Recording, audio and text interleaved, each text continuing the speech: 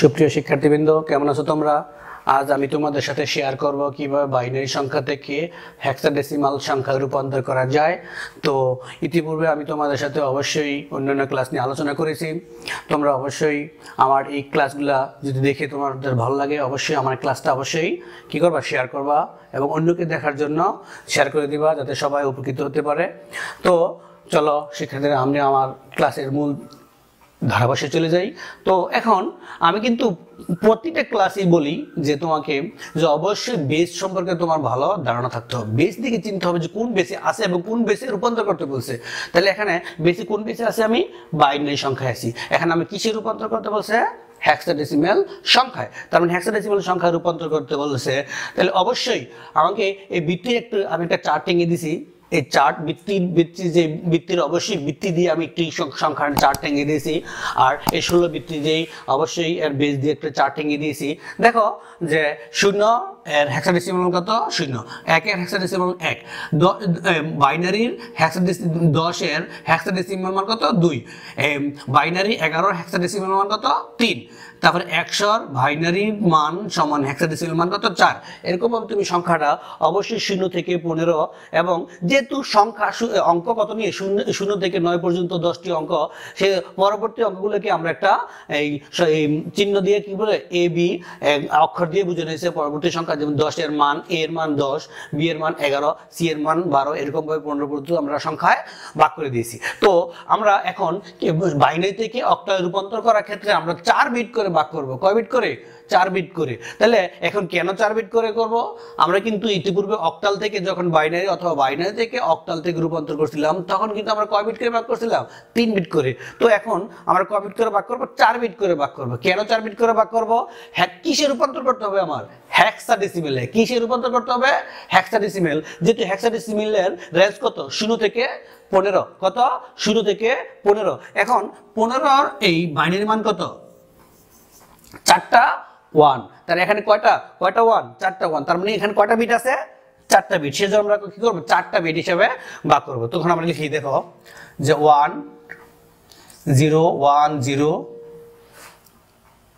one one zero ঠিক আছে? One zero one one one one তাহলে এখন আমরা এই যে দশমিক সংখ্যা, এই দশমিক সংখ্যাকে এগুলোকে সামনে দিলে পূর্ণ সংখ্যা, পরে দিলে কি সংখ্যা?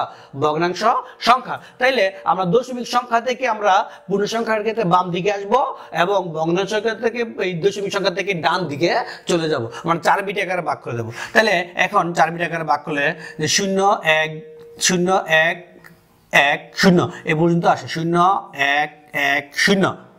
নাকি? তারপরে কটা আছে? এই তিনটা চারটা ভাগ তারপরে এক, শূন্য, এক। এখানে কিন্তু আমার সংখ্যা শেষ। তারপর আমাকে কয়টি সংখ্যা ভাগ করতে হবে? চারটি। তাহলে আমি একটি বাম পাশে একটি সংখ্যা দিয়ে চারটি সংখ্যা ফিল করে নিব ওকে তাহলে দশমিক। দশমিকটা দেখো, তাহলে চারটি সংখ্যা ভাগ করি শূন্য, এক শূন্য, এক। চারটি সংখ্যা চলে আসলো, এই পর্যন্ত চলে আসলো, ঠিক আছে?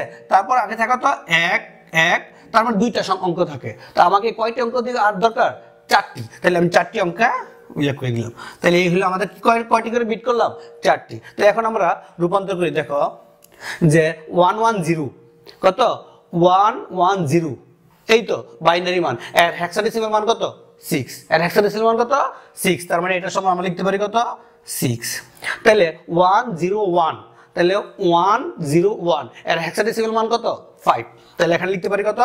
ফাইভ তার এখানে one zero one zero one zero one zero one, তার মানে one zero one one zero one, এর হ্যাক্সাডেসিমাল মান কত?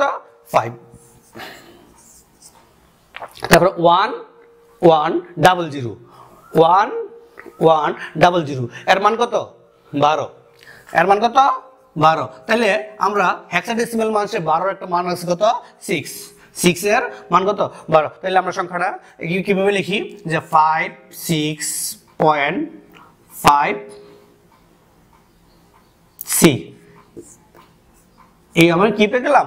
হ্যাক্সাডেসিমেল মান পেয়ে গেলাম। তাহলে আমাদের হয়ে গেল কি? বাইনারি থেকে হ্যাক্সাডেসিমেল সংখ্যায় রূপান্তর করা হয়ে গেল। তো আমরা আমি একই কথা আরেকবার একটু মনে করে দিয়ে যাই। তোমরা অবশ্যই তোমাকে হ্যাক্সাডেসিমেল যে চারটা অবশ্যই তোমরা লিখে নিবে পাশে, তাহলে তোমাদের অঙ্ক করতে সহজ হবে। তুমি চার্টের মান, যেমন হেক্সাডেসিমেলের হেক্সাডেসিমেল সিক্স এর মান, বাইনারি মান কত? তারপরে এইট হেক্সাডেসিমেল এইট এর বাইনারি মান কত? হেক্সাডেসিমেল নাইন এর বাইনারি মান কত?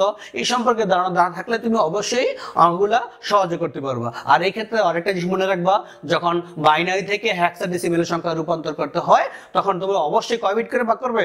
চার বিট করে ভাগ করবে। তো এই হয়ে গেল আমাদের এই বাইনারি থেকে হেক্সাডেসিমেল সংখ্যায় রূপান্তর। শিক্ষার্থীরা, যদি তোমাদের ভালো লাগে, অবশ্যই আমার এই ক্লাসটাকে অবশ্যই বেশি বেশি শেয়ার করবা এবং লাইক দিবা কমেন্ট করবা। Thank you